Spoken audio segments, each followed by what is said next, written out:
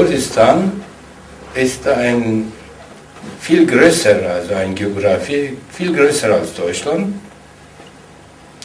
Also vom Berg Ararat bis Mesopotamien, Südebene Mesopotamien, von Urmia-See im Iran bis Taurusgebirge im Westen, so etwa 550.000 Quadratkilometer. Dieses Land hat man so willkürlich, willkürlich und sehr arrogant, verbrecherisch hat man also wirklich diese Völker aufgeteilt. Zum Beispiel früher hat es gab, gab es kein Jordanien, gab es kein Irak, gab es kein Syrien, gab es kein Saudi-Arabien, Kuwait. Und diese alle künstlichen Staaten wurden von Engländern und mit Hilfe von Franzosen gemeinsam erstellt. Iran, Irak, Syrien und größten Teil Kurdistan ist in der Türkei. Und wir haben Unglück, in diesem Land auf die Welt zu kommen. Wir haben keine Möglichkeiten, unsere Bodenschätze zu haben, also die Kurden, in der Türkei besonders, auch in Syrien. Im Irak zurzeit haben wir Möglichkeit, also unsere Bodenschätze zu bewerten. Alle kurdischen Namen wurden während der Zeit Kemal Atatürk alles türkisiert. Geografische Namen auch. Dersim ist Tunceli geworden. Also 1915, 16 haben die Türkei Kemal Atatürk unter Kemal Atatürk praktisch und seinen Gedanken, gut, man sagt Ittihad Terraki in Türkisch, die haben 1,5 Millionen Armenier, eigentlich ein christlicher Kulturvolk, äh, massakriert. Und sie haben die Leute auf einem also willkürlich zusammengetrieben und in Salzwüste in Syrien deportiert. Und bei dieser Deportation wurden sie als vogelfrei gegeben, wegen irgendein Goldzeug, also ein, ein Ring oder irgendein Zahn haben die Menschen getötet. Dieses Volk, Armenier, haben ein Genozid 1916, 15, 16 erlebt. Kaiser Deutschland hat Augen zugedrückt. Und diese Mörder, die an der, am Werk waren, die waren befreundet mit Deutschland und deshalb Deutschland damals hat kein Wort über den Völkermord gesagt. Die Türkei hat alle christliche Völker entweder vertrieben oder ein Völkermord gemacht.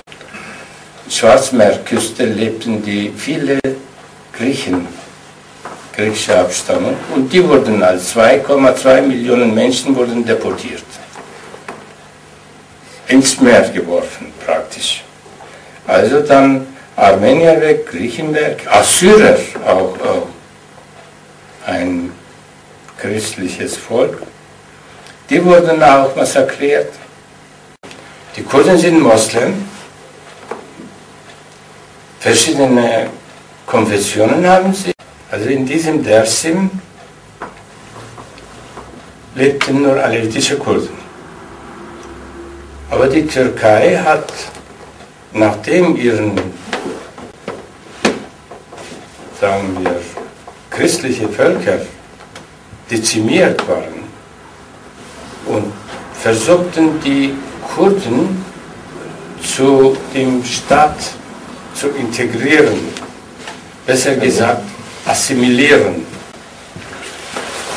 Die Kurden, die sich äh, nicht assimilieren wollten, die haben 1900 24, 25 einen Aufstand gemacht unter Herrschaft von einem Scheich Zeit. Und da war der Staat, der türkische Staat sehr brutal, hat diesen Aufstand, also militärisch brutal geschlagen und tausende Menschen wurden getötet. Also man genaue Zahl weiß man nicht, aber man spricht in, in der Literatur 15.000 Kurden wurden in dieser Zeit ermordet. Dann 1930 in Berg Ararat war auch ein kurdischer Aufstand, wo man, man wollte Kurdisch als Muttersprache anerkannt haben. Man wollte in der Türkei leben, aber ja, als Kurde.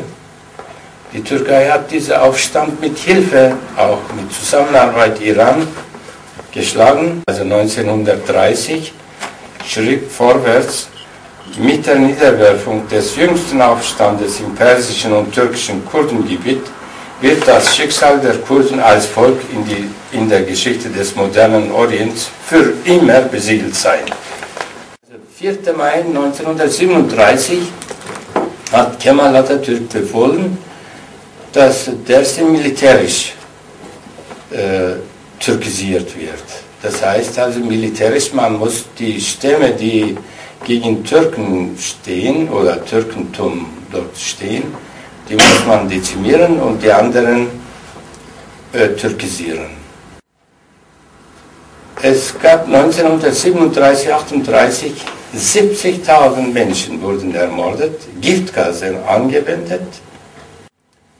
Die Kurden, die in den Berghöhlen sich als verschanzt, also ich bin 1937 auf die Welt gekommen. Natürlich ich habe nicht alles miterlebt, aber meine Mutter hat mich also mit sich in die Berge verschanzt und monatelang also war sie im, im Wald. Ich war ihr einziger Sohn. Und sie hat später mir erzählt, wo sie sich also mit mir versteckt hat und wie sie von oben in der Ebene diesen Massaker gesehen hat wo die Menschen zusammengetrieben waren und äh, diese Menschen äh, einfach getötet und verbrannt oder einfach so da liegen lassen. Äh, der Herr Erdogan, der Ministerpräsident, der islamische praktisch Ministerpräsident der Türkei, er sagte, wenn es in der Literatur ein Beispiel gibt, dann entschuldige ich mich. Aber meine Damen und Herren, er hat in Ankara, als er das gesprochen hat, seine Militär hat Dersim bombardiert.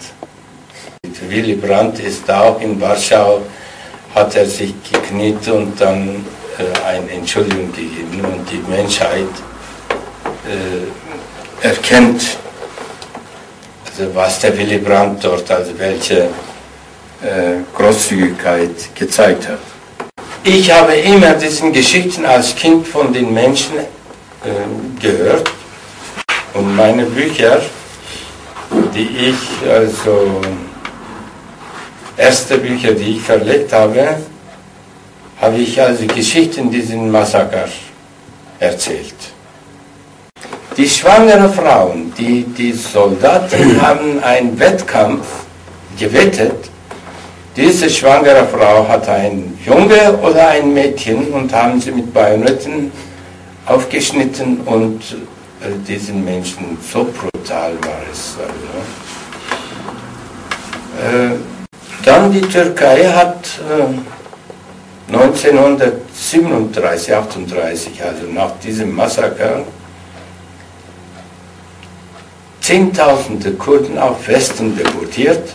Die Offiziere haben die, die unter den toten gebliebenen Kinder und so, die alle mitgenommen, um als Türke zu erziehen. Die Türkei hat diesen Kasernen, die damals unsere Menschen, also diesen Völkermord, Genozid, äh, gebracht hat, umfunktioniert als Schulen.